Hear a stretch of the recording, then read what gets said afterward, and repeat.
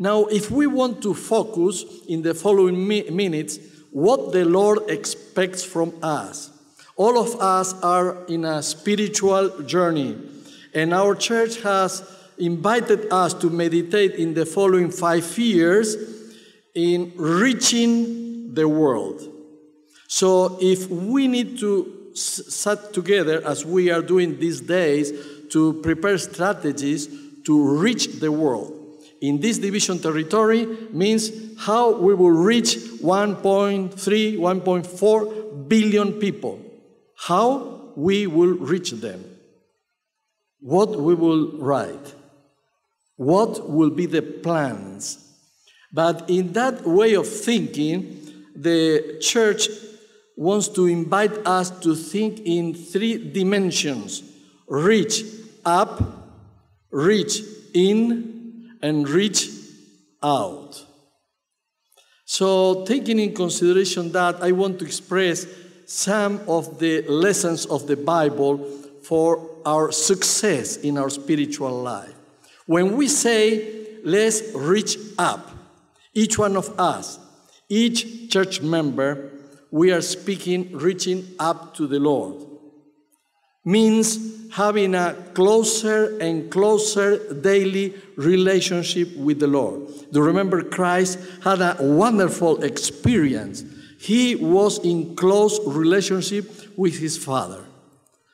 And was such that relationship that that Thursday evening in Gethsemane garden, when he his hand was shaking and the cup he wanted to avoid. If it is possible, Father, pass over from me this cup. Now, all of you that are fathers, you want the best for your children, correct? So, what do you think? Was greater sacrifice for Christ or for the Father? This prayer. A difficult question. Because the Father needed to decide. And if the Father was deciding for the Son to take the cup of his raft, raft. So, what is that cup? Is the final judgment of the Lord to destroy forever sin. Is what we call the second death. Is the death forever. And that was what the Lord, the Father, was asking the Son to take in our behalf. So when Christ assumed, and that is a miracle difficult to understand, we will use eternity to understand his love and the dimensions of love and sacrifice. But when Christ decided to assume in his life your and my sins, what happened with that relationship? Was broken. That way of reaching up to his Father that he enjoys so much, and the Gospels are full of passages saying, early in the morning, Christ was praying. Late at night, Christ was praying. Christ not only prayed, but meditated. Christ studied the Word of God. He answered each temptation with, It is written. So, what Ellen G. White says that we need to do daily, you remember in Testimony, Volume 6, says we need to do three things each day to pray, to meditate, and to study the Word of God. That is the way of reaching up. And do you remember what the apostle wrote in Hebrews 12 1 and 2? Hebrews 12 1 and 2 is a very well known Bible passage. Therefore, since we are surrounded by such a great cloud of witnesses, let us throw off everything that hinders and the sin that so easily entangles, and let us run with perseverance the race marked out for us, and let us, what says verse 2? Let us fix our eyes on Jesus, the author and perfecter of our faith, who for the joy set before him endured the cross, scorning its shame, and sat down at the right hand of the throne of God. When we want to reach up, we need to fix our eyes in Christ. And what a wonderful thing here in SUD, SUD for leaders, pastors, and church members all together to fix our eyes in Christ. Do you remember that experience in Matthew? Is recorded in several Gospels. Matthew 14, starting with verse 23. After he had dismissed them, speaking about Christ, he went up on the mountainside by himself to pray. When evening came, he was there, how says? Alone. What about the disciples? Christ was praying alone. And that makes me remember what is happening with us, the leaders, the pastor, and church member. Is Christ praying alone, or he is with us, or we are with him praying? The importance of prayer. But the boat, 24, the boat was already a considerable distance from land, buffeted by the waves because the wind was against it. Verse 25 During the fourth watch of the night, Jesus went out to them walking on the lake. 26 When the disciples saw him walking on the lake, they were terrified. It's a ghost, they said, and cried out in fear. Verse 27 But Jesus immediately said to them, Take courage, is it I, don't be afraid. Verse 28 Peter, the disciple, said, If you are, tell me to come to you on the water. And what says Christ in verse 29? Come. Now, Peter then received the answer to his question, but the question was full of doubt. Because he said, If, if you are, give the order for me to go. And Christ said, Come. So he went out of the boat in the middle of the storm that night and he found sustentation in, in the water and started to walk in the water. But look what Ellen G. White says about focusing in Christ, fixing our eyes in Christ, like says Hebrew 12. Focusing in Christ, Peter walked with security, but when with self confidence he looked back to his friends in the boat, his eyes departed from Christ. The wind was terrible. The wave grew up in great height, and during an instant, Christ was occulted from his sight, and his faith abandons him. He started to sink. And when death was speaking to him in the midst of the wave, and when he focused again in Christ, he shouted and exclaimed loud, Lord, save me. A very short prayer because no time to make an introduction. No? Lord, save me. Immediately, Jesus took his extended hand, saying, O man of little faith, why have you doubted? He started with a doubt. If you are, give the order to walk. Now he was very proud. Can you see? It's a question of seconds and minutes. He was walking by faith when he had fixed his eyes in Christ, but after a few seconds, he was full of pride. this is Peter. And what about you, the other disciples in the boat? He lost sight. The Bible says that the wind was contrary and the wave was very great, and he lost sight. Lost sight of Christ. What is our situation this evening for all the members of the executive committee of SUD? What is my personal situation? Are the winds of concern, stress, expectation? What will happen with us? Is time of election? Are the winds so hard and the wave that we face in our family or with our children or the pastors in charge of several churches or the lay members to witness for the Lord in the workplace.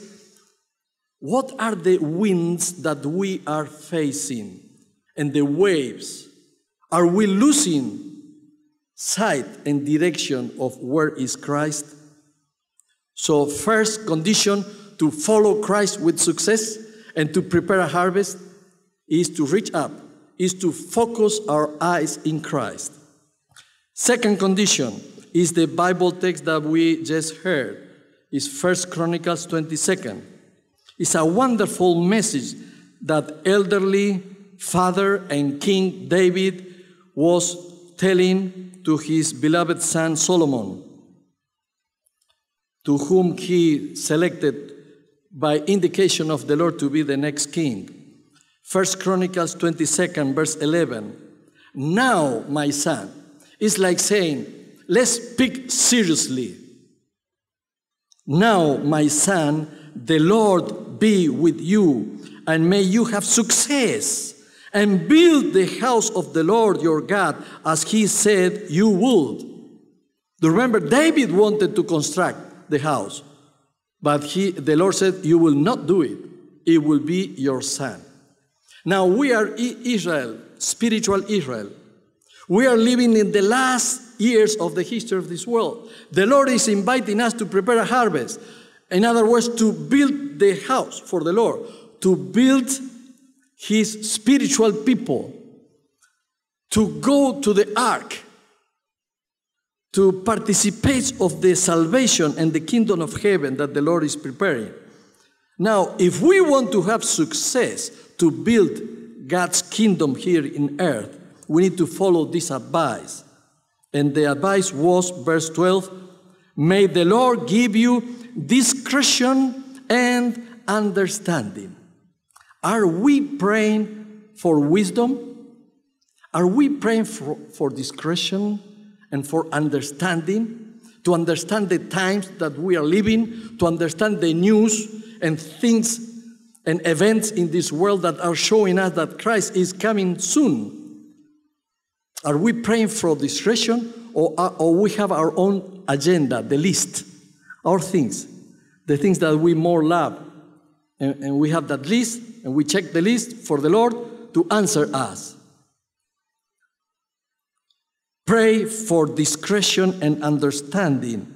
And when he puts you in command of over Israel, so that you may keep the law of the Lord your God, to follow Christ's pathway for your life. And then look what says, verse 13, 1 Chronicles 22 13. Then you will have success if you are careful to observe the decrees and laws that the Lord gave to Moses for Israel and then this you need to underline in your Bible. The end of verse 13 is two commands, two orders. Be strong and courageous. Be strong and courageous. Do not be afraid or discouraged. Be strong and courageous. You know what happened in our spiritual life? First, we need to focus in Christ. How many church members we had here in SUD in the last 40, 50 years as an example, and that today are not more with us? Many. They are not more with us. They lost sight. The contrary wind erased their faith. So, one is to focus in Christ, second is to be strong and courageous. To reach out to the people of this world, we need to exercise that. You know, I, I spent the last 15 years in the Eurasia division, the former countries of the USSR, Russia, Ukraine. My colleagues visited many of these countries, and uh, we have the STAN countries Kazakhstan, Kyrgyzstan, Uzbekistan, Tajikistan, Turkmenistan, and Afghanistan. Many STAN countries, difficult, all of them, Muslim countries. And then the Transcaucasus, Georgia, Armenia, and Azerbaijan. Many countries. You know, I heard of my colleagues, the missionaries, how they suffer you know, when the military service was enforced. And all young men of 18 years needed to go to the military service. And was very tough. And our young boys and girls were dedicated in the churches where they belong. And they prayed for the Lord to bless. As an example, Vladimir Ivanovich. They prayed for Vladimir. Vladimir wanted to be a medical doctor, but in the university they don't allow him to study medicine because he was seven-day Adventist. And he was not participating of the activities of the Communist Party. So he could not study medicine. So they took him to the military service. But the Lord gave Vladimir a great physical strength, and he was a sportman. You know this game, ping pong? Ping pong? He was the champion in Ukraine of ping pong. But he went to the military service, and they forced him to work in Sabbath. And he said, No, I will respect my Lord. I want to be faithful to my Lord. I will not serve in Sabbath. And they put him in jail many times. And as to Vladimir, they made to other pastors and leaders today in the Eurasia division. Be strong and courageous. Be strong, and the Lord will be with us. I can tell you many stories, but we don't have time this evening. So, first secret to follow Christ successfully focus your eyes in Christ. Have time to meditate, to pray, and to study the scripture each day. Second, be strong and courageous. When you will study in your different unions and conference and mission and sections and institutions, what strategy you will follow to reach the world and reach the people of this world with the message of hope, be strong and courageous. I want to tell you, Spirit of Prophecy says it will come difficult times in the future, near future. Are we ready to face those difficult times? Are we ready? Are we ready to stand for Christ and to be strong and courageous? And then let's go to the third one, the third secret to have a successful spiritual life. Among many others, the third one we find in the Gospel of John, chapter 15 is a very nice one and crucial in our spiritual life. John 15. In John 15, Christ described the relationship between the Lord and each one of us with the parable of the vine and the branches, or with the, that figure for us to understand. In verse 1, John 1, uh, 15 1, she says, I am the true vine and my Father is the gardener. What says in verse 4? Verse 4 Remain in me, and I will remain in you. No branch can bear fruit by itself, it must remain in the vine. Neither can you bear fruit unless you remain in me. That is a crucial secret and lesson of the Bible. Not only to focus in Christ, many people look to Christ, take a decision for baptism, and after lose sight of the Lord. Not only to be strong and courageous, but the third is crucial remain in Christ. If we remain in Christ, then we will have the power, you know, I am the vine and you are the branches. The branches are the ones that take fruit, but without relationship with the vine, nothing will happen. We will dry and we will be burned. So we need to be connected and we need to remain. Look what says two chapters before John 13, John 13 and verse 35. John 13 and verse 35. By this all men will know that you are my disciples. How the world will know the truth, and how the world will know that we are his disciples in order to make disciples. How? How finish verse 35?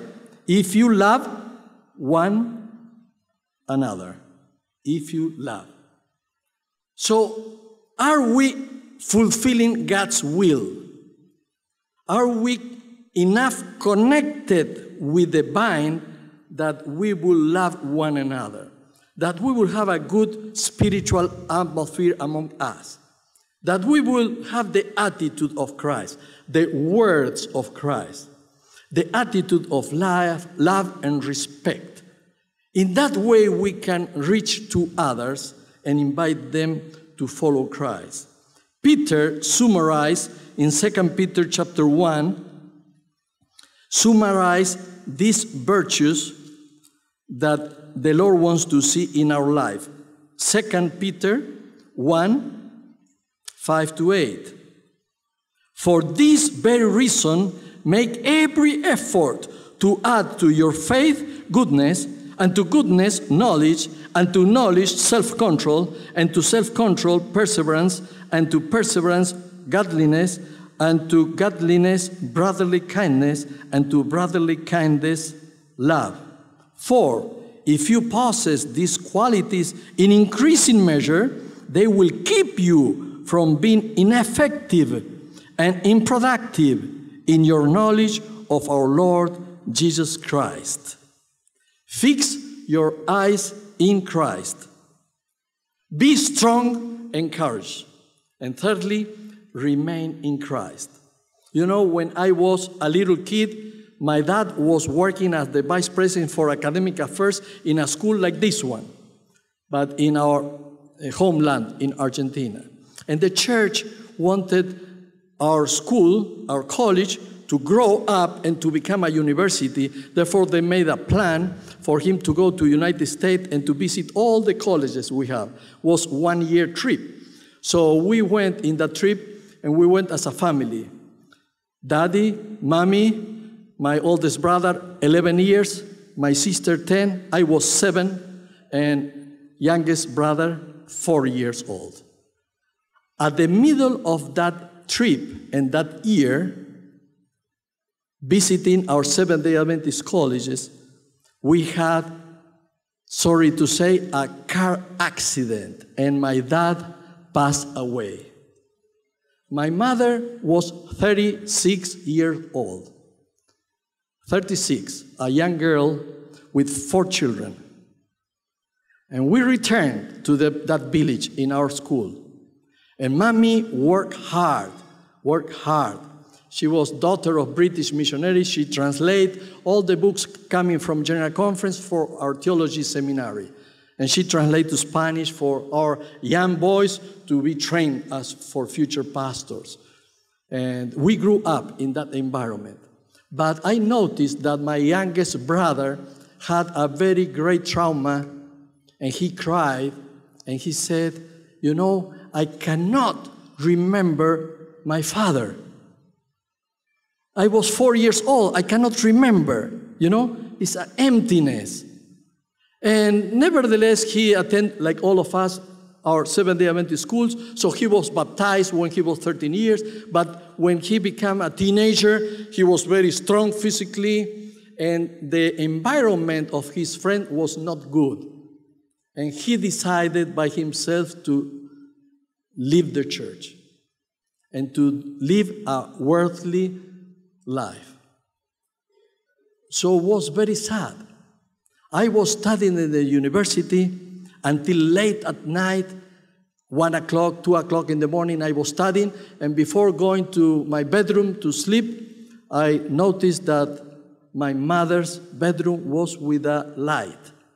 So I was looking to the bedroom of mommy, and she was kneeling down at the side of the bed, praying all night because one of the four children was missing.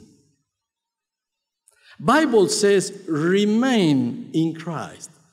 And youngest brother was not there. The years passed. He went to work in a big factory in Buenos Aires City. I was working already as a missionary.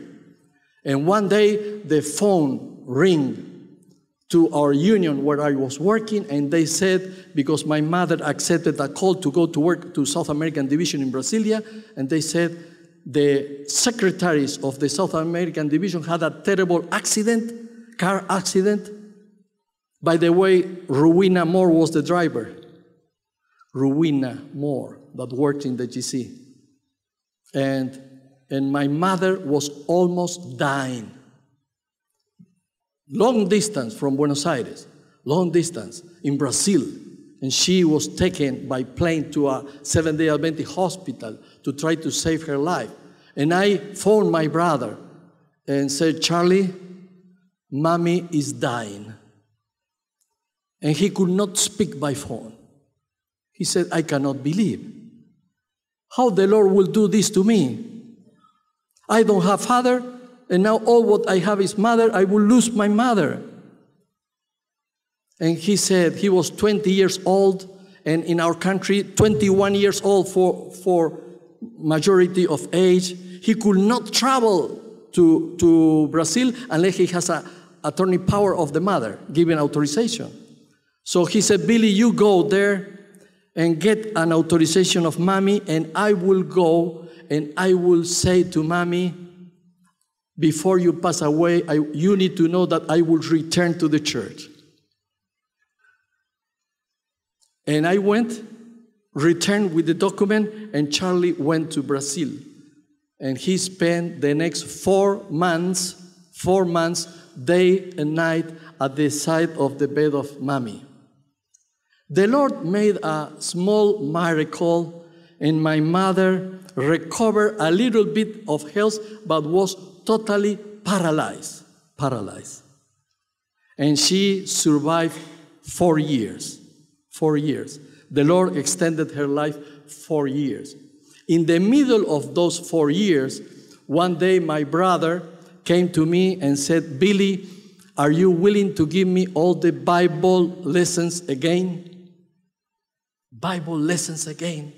I want to study again the Word of God. And you know what joy was each evening to meet with my youngest brother and study again the Word of God. And can you imagine that day that he decided to be rebaptized in a small church that we attended in big Buenos Aires city. We have like 120 churches there, but we were attending and to work in a small church, and the pastor was going to rebaptize Charlie.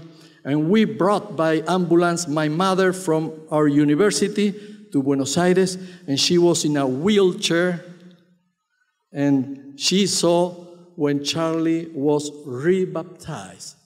He was reconnected to the vine. And the pastor said, Winnie, are, are you willing to come to the front and give the baptism certificate to your son? And she passed, all the church members were crying. And that night, when we returned home, when all the program was finished, when we returned home, she said to me, You know, Billy, this is the greatest day of my life. Because our my son that was lost is found. And the one that christ came to save was the lost lamb is back at home. And she said the lord can take me to rest. Because what a terrible thing will be if christ will come and we will join again with daddy with our father, and he will say, Where are the four children? And look if one is missing. But now we are all together again, walking to the promised land. I want to fix my eyes in Christ. I want to be strong and courageous to reach out to the people of this world. And I want to remain in Christ with my family and with all the church members of the world. What about you? Do you want to do the same? Let's stand for prayer. Our Heavenly Father, our hearts are full of gratitude for your love, your compassion, your forgiveness, the sacrifice of Jesus Christ in the cross of Calvary, the work of the Holy Spirit touching our hearts for us to repent, for us to confess, and for us to be willing to follow you each day of our life. Thank you because the Word of God is inviting us to fix our eyes in Christ. You're inviting us to be strong and courageous, to go ahead to all the cities and towns here of India, of Bhutan, Nepal, and Maldives, to finish the work and to bring hope to the people of this world. But also, and very important, you're asking us that daily we will remain in Christ. For us to go back and bring all the ones that are not at home. Invite former church members to come back to home, to come back to Christ. And what a joy will be not only with us, but in heaven for one that becomes to repentance. So this evening, in the middle of these year end meetings, we want to consecrate our life to you. Receive the dedication of our life. Help us to focus in Christ and not in our personal agenda. And help us to be faithful to you, to be strong and courageous, and to remain in you because we pray in Jesus' holy name. Amen.